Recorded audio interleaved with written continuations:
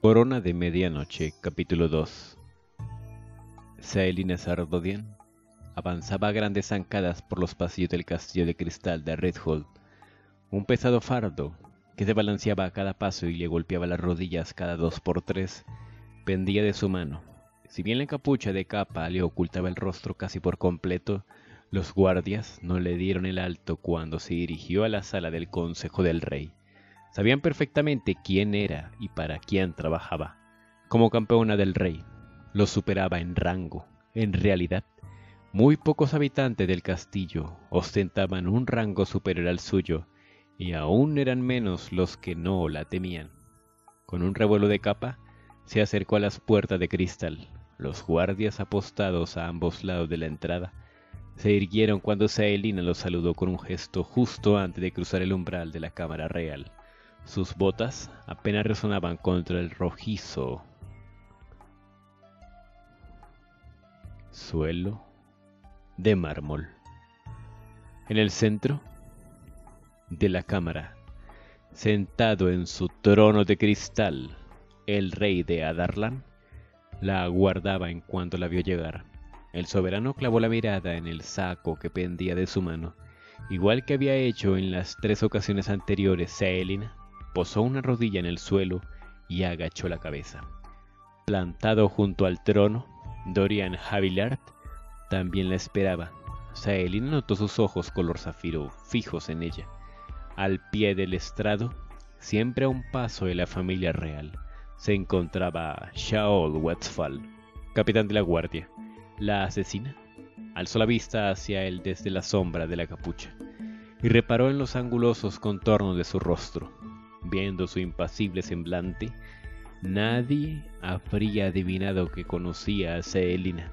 No obstante, así debía ser. Formaba parte del juego que llevaban practicando desde hacía varios meses. Tal vez Chaol fuera su amigo, o incluso alguien a quien podía llegar a confiar, pero seguía siendo capitán por encima de todo. El hombre se debía a la familia real, el rey se dirigió a ella. Levántate, con la barbilla alta, la asesina se incorporó y se retiró la capucha. El monarca agitó la mano y la sortija de obsidiana que lucía en el dedo capturó la luz de la tarde. Misión cumplida. Con una mano enguantada, Saelina hurgó en el saco y arrojó la cabeza cortada a los pies del rey. Nadie pronunció palabra. Cuando la carne dura y putrefacta rebotó en el mármol con un golpe sordo. La cabeza rotó hasta la tarima. Cuando se detuvo, los ojos lechosos se clavaron en la recargada araña de cristal que pendía del techo. Dorian irguió la espada y desvió la vista. Shaol no apartaba los ojos de Saelina. Opuso resistencia, declaró ella. El rey se echó hacia adelante para examinar de cerca el maltrecho rostro y los cortes irregulares del cuello.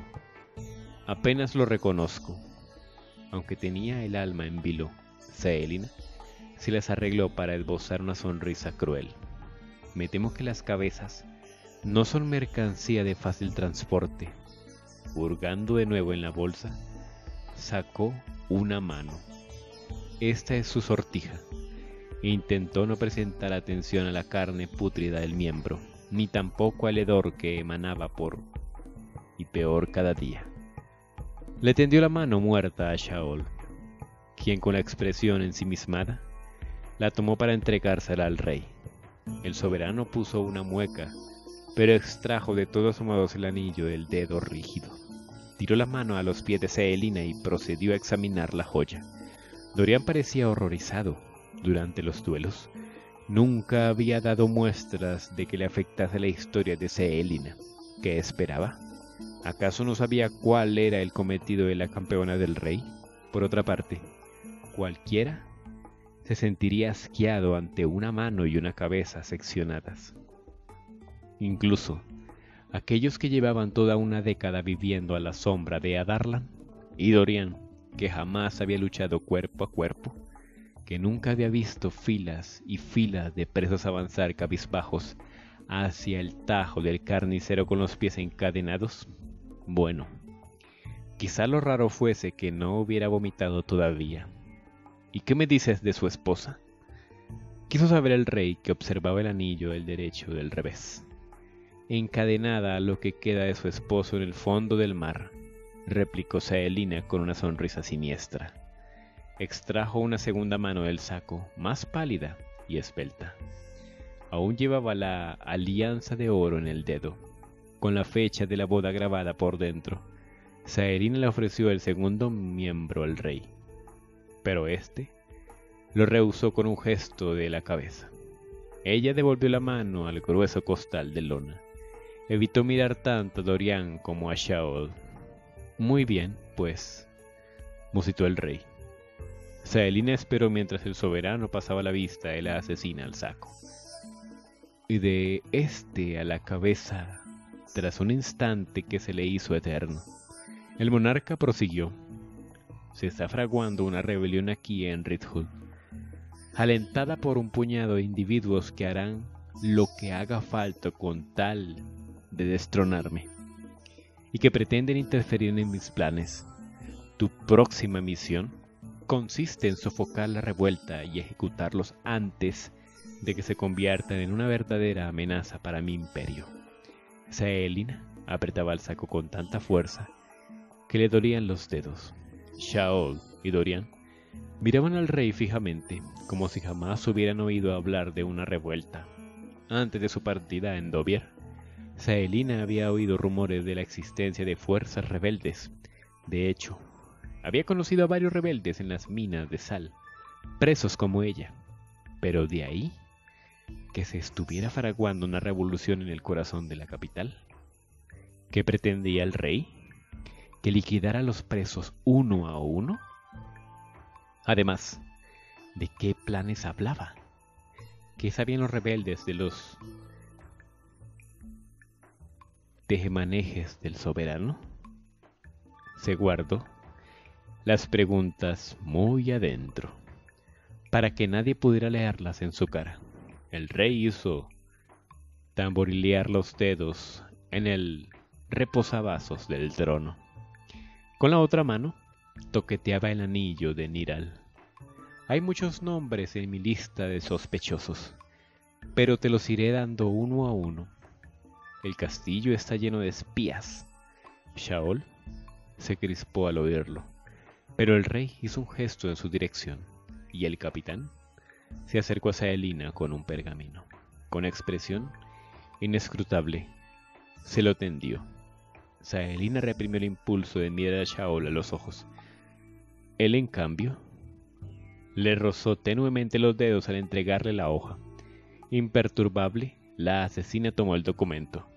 Llevaba escrito un solo nombre. Archer Finn. Tuvo que recurrir a todo su autocontrol y sentido de supervivencia para disimular la sorpresa. Conocía a Archer. Lo conocía desde los 13 años. En aquel entonces, Archer había acudido a la guardia de los asesinos a recibir entrenamiento. Archer era varios años mayor que ella, y entonces era un cortesano muy solicitado, tanto que precisaba un entrenamiento especial para aprender a protegerse de las clientas celosas y de sus maridos. Jamás le molestó que Saelina lo persiguiera. En realidad, coqueteaba con ella y la hacía reír como una boba. Por supuesto, Llevaba muchos años sin verse, desde que ella partiera en Dovier. Pero Saelina no lo creía capaz de algo así. Era un tipo guapo, amable y alegre, no un traidor de la corona tan peligroso como para borrarlo del mapa. ¡Qué absurdo! Quien quiera que le estuviera proporcionando información al rey era un completo idiota. ¿Solo a él? ¿O a sus clientes también? le espetó al soberano. El monarca sonrió con desgana. ¿Conoces a Archer? No me sorprende. Le estaba poniendo a prueba. Haciendo esfuerzos por tranquilizarse, por respirar, Saelina mantuvo la vista al frente. Lo conocía. posee unas defensas extraordinarias. Tardaré un tiempo en traspasarlas. Saelina había formulado las frases con extrema cautela. En realidad, precisaba de tiempo para averiguar cómo se había metido Archer en aquel lío y también para descubrir si el rey decía la verdad. Si realmente Archer era un traidor y un rebelde, bueno, ya lo decidiría más tarde. Te concedo un mes, declaró el soberano. ¿Y si para entonces no está bajo tierra? Quizá reconsidere tu puesto, jovencita. Ella sintió sumisa, complaciente, gentil. Gracias, Su Majestad. Cuando hayas liquidado a Archer, te proporcioné el siguiente nombre de la lista.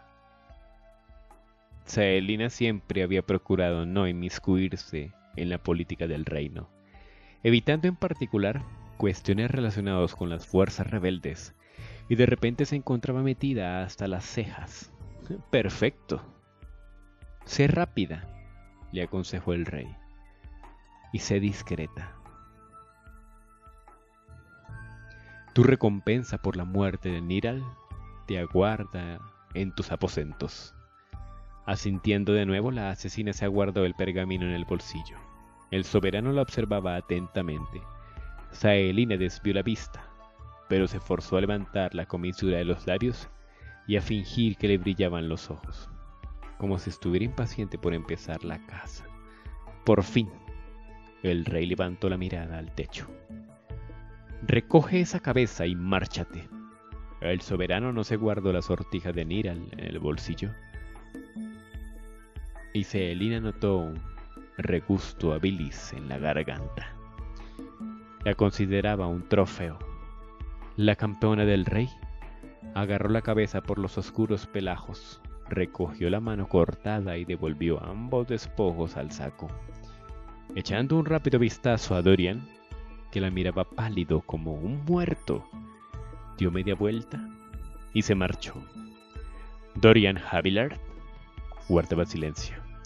A su alrededor los criados devolvían la enorme mesa de redoble y las ornamentadas butacas al centro de la cámara. El consejo se reunía en tres minutos escasos. Apenas oyó a Shaol cuando éste pidió permiso para ausentarse, arguyendo que debía pedir informes a Celina. El rey se lo concedió con un gruñido. Celina había matado a un hombre y a su esposa. Su propio padre lo había ordenado. Dorian a duras penas podía mirarlos a la cara. Pensaba que había convencido a su padre de que reconsiderase sus brutales prácticas tras la matanza de rebeldes que él mismo había ordenado llevar a cabo en Elwi, antes de Yulemas. Pero al parecer nada había cambiado y Saelina en cuanto los criados hubieran dispuesto la mesa, Dorian ocupó su sitio de costumbre, a diestra de su padre. Los consejeros empezaron a entrar, y con ellos el duque Barrington, que se dirigió directamente al rey y le murmuró algo en voz demasiado queda para que Dorian distinguiera las palabras. El príncipe no se molestó en saludar a nadie, se quedó allí mirando la jarra de cristal descansaba sobre la mesa. Hacía unos instantes ni siquiera había reconocido a Saelina.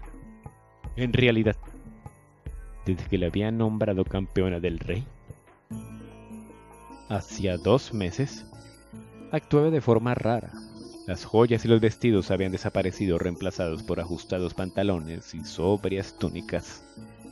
Se recogió el cabello en una larga trenza que se perdía en los pliegues de su capa negra, esa horrible prenda que siempre llevaba puesta parecía un hermoso espectro, un fantasma que miraba a Dorian como si no lo conociera.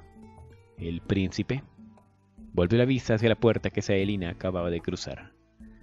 Una persona capaz de asesinar a sangre fría sin pestañear no tendría reparos en fingir que se sentía atraída por el etéreo, por el heredero de la corona para así convertirlo en su aliado.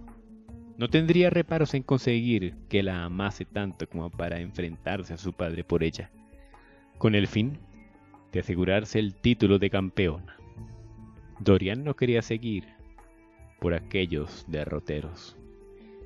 Le haría una visita al día siguiente tal vez, solo para comprobar si existía alguna posibilidad de que estuviera equivocado. Sin poder evitarlo, se preguntó si alguna vez habría significado algo para Saelina. Tan ruda como sigilosa, Saelina recorrió los pasadizos y las escaleras que conducían al alcantarillado del castillo. Era el mismo canalón que fluía más allá de su túnel secreto. Si bien el hedor empeoraba mucho en aquella zona a consecuencia de los desperdicios que los criados vertían casi cada hora, los pasos de la asesina y luego otros más, los de Shaul, resonaron en el largo pasaje subterráneo. Selina, sin embargo, esperó a llegar al borde del agua para dirigirle la palabra. Una vez allí, echó un vistazo a los arcos de crucería que se erguían en ambos lados del río. No vio a nadie. ¿Y bien? dijo sin darse la vuelta.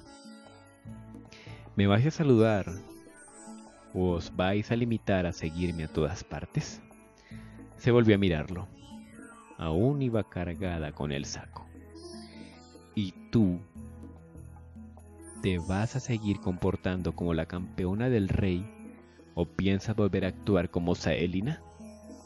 La luz de la antorcha arrancó el destello a los ojos color bronce de Shaol. Por supuesto. Shaol había reparado en la diferencia. Se daba cuenta de todo y Saelina no estaba segura de si debía alegrarse por ello, sobre todo porque notaba cierta guasa en sus palabras. Como la asesina no respondía, el capitán siguió preguntando. ¿Qué tal por Belhaven? Como siempre. Saelina sabía muy bien que se refería a Shaul Quería saber qué había pasado en el transcurso de la misión. ¿Opuso resistencia? El capitán señaló el saco con la barbilla. Ella se encogió de hombros y volvió a mirar al agua. Nada que no pudiera solucionar. Saelina tiró el costal al río en silencio. Se quedaron mirando el fardo que cabeció y luego se hundió despacio. Shaol carraspeó. La joven sabía cuánto odiaba el capitán aquel tipo de cosas. Cuando Saelina se disponía a partir en su primera misión, una finca en la costa de Mea, Shaol se había pasado tanto raro caminando de un lado a otro que la asesina se preguntó si le pediría que no fuera. Y cuando Saelina volvió cargada con una cabeza y envuelta en rumores sobre el asesinato de Sir Carlin, Tardó una semana en poder mirarla a los ojos, pero bueno, ¿qué esperaba? ¿Cuándo empezarás tu próxima misión? Preguntó Shaul. Mañana. O pasado. Necesito descansar. Añadió ella rápidamente al ver que el capitán ponía mala cara.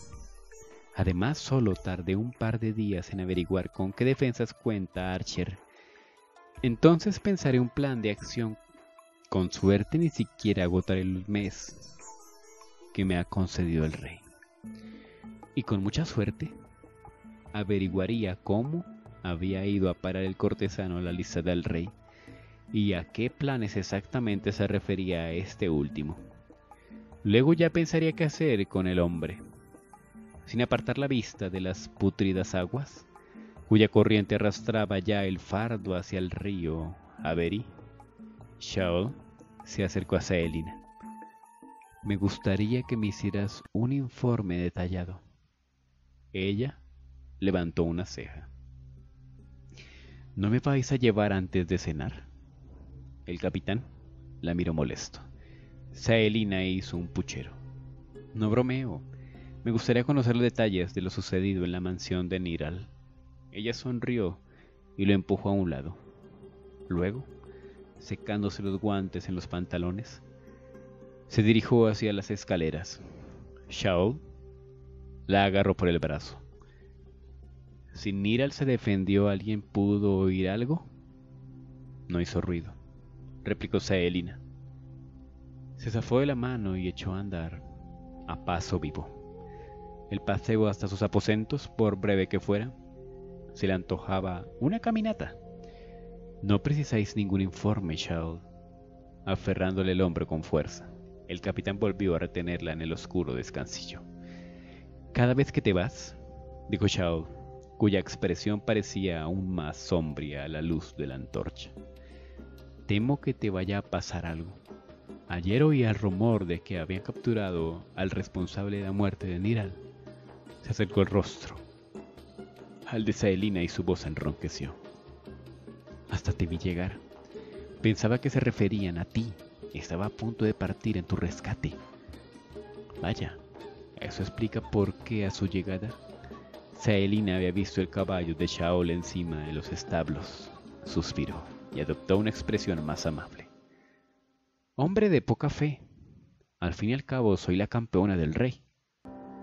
Súbitamente, Shaol la rodeó con los brazos y la trajo hacia sí. Ella respondió al instante. Agarró al capitán por los hombros y aspiró su aroma. Shaol no había vuelto a abrazarla desde que supo que Saelina se había proclamado ganadora oficial del torneo. Aunque el recuerdo de aquel contacto invadía muy a menudo sus pensamientos, ahora que por fin estaba entre sus brazos, el deseo de que aquel brazo se prolongase hasta el infinito, rugía en su interior. Shaul se frotó la nuca con la nariz. Dioses, hueles a rayos, murmuró. Con una expresión incendiaria, Saelina gruñó y le propinó un empujón. Andar por ahí con despojos putrefactos no te ayuda a oler a rosas precisamente, y quizás si me hubieran dejado bañarme en lugar de requerir mi presencia inmediata ante el rey, podría... Saelia se detuvo a reparar en la sonrisilla maliciosa del capitán. Le dio una palmada en el hombro. ¡Idiota! Lo agarró del brazo y lo arrastró hacia las escaleras. Venga, acompañadme a mis aposentos. Allí podréis escuchar mi informe como un perfecto caballero. Shaol bufó y le dio un codazo pero no la soltó. Cuando la alborozada ligera se calmó. Lo bastante como para que Saelina pudiera hablar sin tener que apartarla. Shaol le arrancó hasta el último detalle. Luego, tras prometerle que llevaría a cenar en cuanto hubiera descansado, se marchó. Haciendo muchos aspivientos, Filipa le ayudó a bañarse. No deja de cometer y comentar horrorizada el estado del cabello y las uñas de su ama. Concluido el aseo, Saerina se tendió en la cama. Ligera, saltó al lecho y se acurrucó a su lado. La joven miraba al techo acariciando el pelaje dorado y sedoso del animal. Poco a poco sus músculos entumecidos empezaron a relajarse. El rey se había tragado la historia y Shaol no había dudado ni por un instante del relato cuando le había detallado los pormenores de la misión. Selina no sabía si sentirse satisfecha, decepcionada o directamente culpable. En cualquier caso, había soltado todas aquellas mentiras sin pestañear. Según su versión, Nidal había despertado justo antes de ser asesinado y Saelina había tenido que degollar a su esposa para que no gritase. La lucha había resultado algo más engorrosa, de lo que habría gustado. También había añadido detalles auténticos. La ventana del castillo, la criada con la vela, las mejores mentiras incluían siempre algún detalle auténtico. Saelina asió el amuleto y descansaba sobre su pecho. El ojo de Elena. No había vuelto a ver la reina desde aquella última reunión en el sepulcro. Suponía que ahora que había conseguido el título de campeona del rey, el fantasma de Elena la dejaría en paz. No obstante, a lo largo de los meses transcurridos desde que la reina le entregara el amuleto de protección, Saelina había acabado por apreciarlo. El metal irradiaba calor, como si tuviera vida propia. Lo apretó con fuerza. Si el rey llegara a enterarse de lo que había hecho en realidad, de lo que llevaba haciendo durante los últimos meses, se había dirigido su primera misión con la firme intención de ejecutar a su objetivo cuanto antes. Se había mentalizado, se había dicho que Sir Carlin solo era un extraño y que la vida de aquel hombre no significaba nada para ella. Sin embargo, al llegar a la finca y descubrir lo amable que era con sus criados, al verlo tocar la lira con el juglar, al que había cogido en su salón, al comprender a quién estaba favoreciendo y a quién perjudicando, no pudo hacerlo. Trató de obligarse, de coaccionarse y de sobornarse para cometer el crimen, pero no pudo. No obstante, debía fingir un asesinato y conseguir un cuerpo. Le había planteado a Lord Niral el mismo ultimátum que a Sir Carlin morir ahí mismo o simular su propia muerte y huir. Escapar bien lejos y no volver a emplear su apellido jamás. De momento que los cuatro hombres que le habían ordenado asesinar todos habían optado por fugarse. No le había costado mucho convencerlos de que le entregaran sus sortijas u otros objetos personales y aún menos conseguir sus ropas de cama para fingir que las había hecho girones en el transcurso de la lucha a muerte. Los cuerpos tampoco habían supuesto un problema. Nunca faltaban cadáveres recientes en los sanatorios. Siempre encontraba alguno cuyos rasgos recordasen a los del objetivo, sobre todo porque la habían enviado a lugares lo bastante lejanos como para que la carne estuviera tiempo de pudrirse. Saelia no sabía bien quién pertenecía, la supuesta cabeza del Lord Nidal. Solo que ambos tenían el mismo color de pelo y unos cuantos tajos en la cara para que se descompusiera más rápidamente. Había dado el pego. La mano pertenecía al mismo cadáver. En cuanto a la mano femenina, procedía de una muchacha que apenas había empezado a sangrar muerta de una enfermedad que 10 años atrás cualquier sanador podría, pudo, curar fácilmente. Por desgracia, extinguida la magia y colgados o quemados aquellos mismos curanderos, la gente moría a puñados. Sucumbían a enfermedades estúpidas, muy fáciles de remediar. Saelina dio media vuelta en la cama y enterró la cara en el suave pelaje de la ligera. Archer, ¿cómo se las ingeniería para simular su muerte? Todo el mundo lo conocía. Saelina no se creía que el cortesano trabajara para que aquel movimiento clandestino fuera cual fuese. Pero si su nombre estaba incluido en la lista del rey, cabía dentro de lo posible que, en los años transcurridos desde que se vieran por última vez, hubieran utilizado su talento para medrar. Ahora bien, ¿qué información podría obrar en poder de los rebeldes que pudiese y supusiese una auténtica amenaza para el rey?